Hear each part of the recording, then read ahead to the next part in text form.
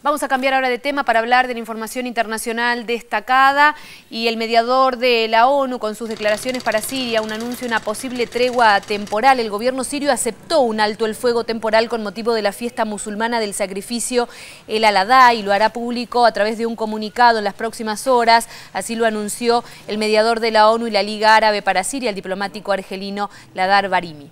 En una rueda de prensa confirmó este alto el fuego. La rueda de, de, prensa se realizó en el Cairo, en Egipto. Así, el mediador agregó que ha contactado con algunos de los grupos combatientes en alusión a los rebeldes y señaló que la mayoría de ellos, en principio, han aceptado esta tregua que debería comenzar el viernes. El enviado de Naciones Unidas no ha precisado las fechas de la tregua, pero la fiesta en cuestión dura del 26 al 28 de octubre. Si esta humilde iniciativa tiene éxito, esperamos poder avanzar sobre ella para discutir un alto al fuego más duradero y efectivo como parte de un proceso político general, añadió el mediador de Naciones Unidas unas horas después.